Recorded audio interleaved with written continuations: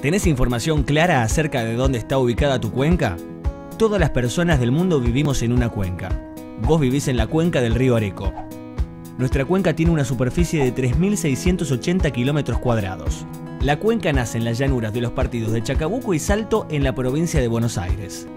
Y están incluidas en ella las ciudades de Carmen de Areco, San Andrés de Giles, San Antonio de Areco, además de pequeñas localidades como Dugan, Solís, Ascuénaga, Tres Sargentos, Villa Lía, Santa Coloma, entre otras.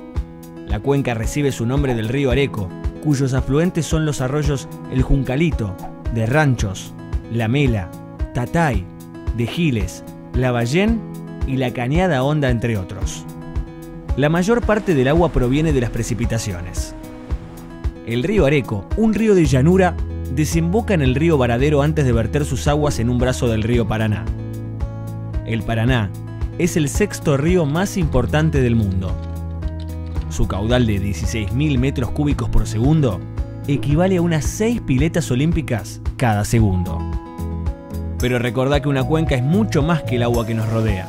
Es también el aire que respiramos y los lugares donde vivimos, trabajamos y jugamos. Además, la compartimos con las aves, las plantas y la vida silvestre. Los voy a dejar con algo para que piensen al respecto. El consumo de agua es una de las formas en las que afectamos nuestras cuencas. ¿Cuánta agua crees que consume una persona por día en Sudamérica?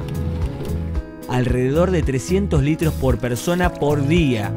Eso es 2,5 veces más que lo que consume Alemania y 20 veces más que África.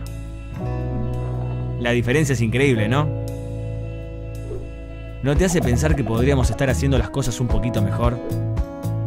Cuanto más aprendemos, mejor entendemos y más podemos ayudar.